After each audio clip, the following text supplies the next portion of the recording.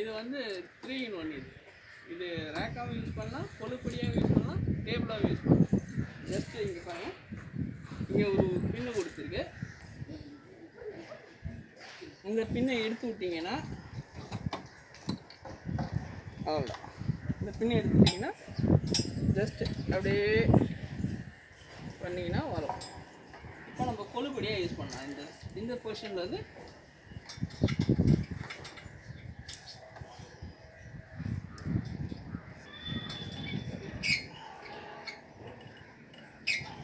ஓகேவா ஆ ஜஸ்ட் இந்த பொர்ஷனில் வச்சு மூவ் பண்ணிட்டீங்கன்னா இது வந்து உங்களுக்கு கொழுப்படியாக யூஸ் பண்ணலாம். சரிங்களா? ம்? அதையே இந்த ஊக்கை எடுத்துட்டு திருப்பி ஃபுல்லாக தந்தீங்கன்னா டேபிளாக கன்வெர்ட் ஓகேங்களா? இந்த கொஷனில் இருக்கு. இந்த கொஷனில் வச்சு இந்த ஊக்கு போட்டு